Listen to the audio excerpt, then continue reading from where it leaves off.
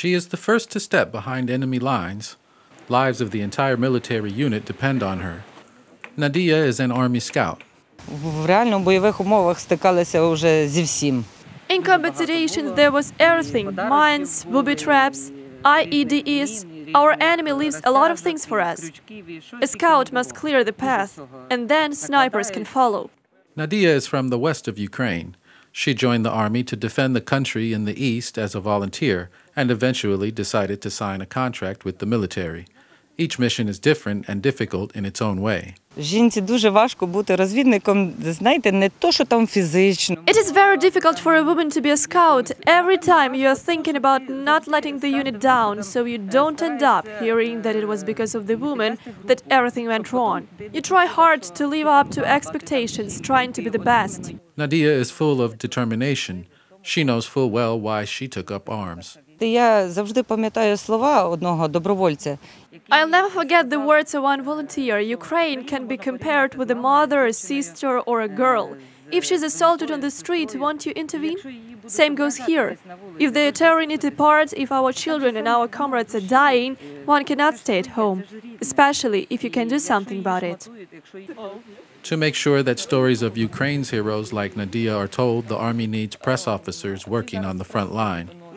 Tetiana signed a contract with the military in 2017. She's a junior lieutenant and has come a long way to earn the trust of her comrades. Дуже запомнилась одна дівчина, яка е, працювала медиком в 2014 році. The girl who worked as a medic in 2014 really stuck in my memory. She was from the Donbass battalion. She told how during the heavy shelling her friends were being killed. Many were wounded, a lot of blood. She told me how she washed her uniform and the water was all red. It was horrific. I still have chills about that. This year, Tetiana, who at the time was a deputy commander, was offered the job of a press officer. Every day she works with several film crews and does her best to counter Russian propaganda. Інформаційна війна вона е, дуже деморалізує суспільство. Previously, we did not realize how important the information war is, and at first, we were very demoralized.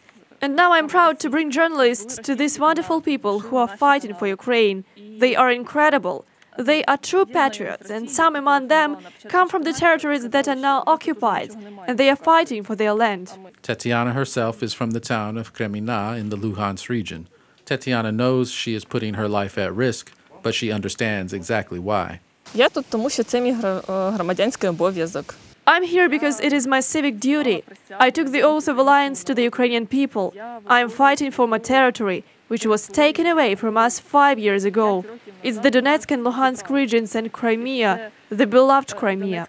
I used to go hiking there many times, and I really want to go back. Women make a fifth of the Ukrainian armed forces personnel.